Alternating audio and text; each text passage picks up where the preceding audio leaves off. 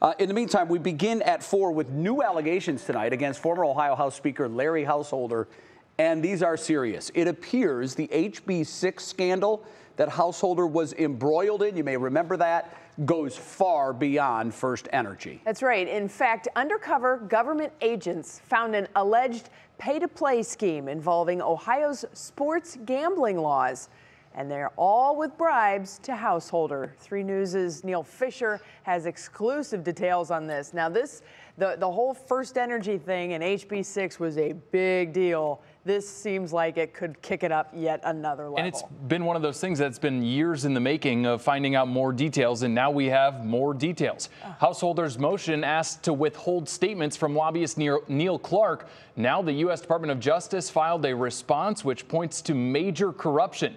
In the DOJ filing, Clark told undercover FBI agents posing as businessmen to set aside 50 to $100,000 to pay public officials, including Householder, to fast track sports betting. Clark told them about House Bill 6 and referring to FirstEnergy as the bank because, quote, they've got too much money too much power. Householder argues these statements are hearsay because Clark has died, but the government is attempting to show they were in it together. Okay, that seems like it could be difficult with the main party here being deceased.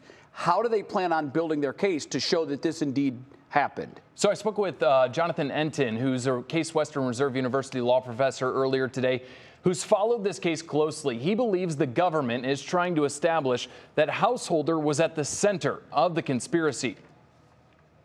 We are going to show that this conspiracy existed. We are going to show that Mr. Clark was part of the conspiracy and that these statements were made to promote the conspiracy. And from the government's standpoint, they're saying that's all we have to show to establish that this evidence is admissible.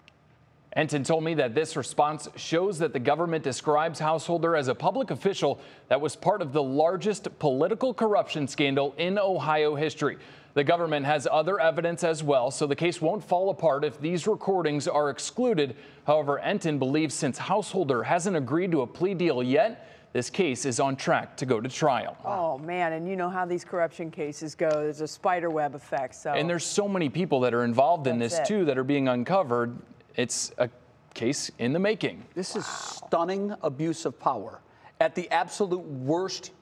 When you're accepting money for political favors, this is exactly what everyone fears, and it seems like that that's happened in this case. The definition of that pay to play line. Yeah, exactly. All right, Neil, thanks. More to come. Yep.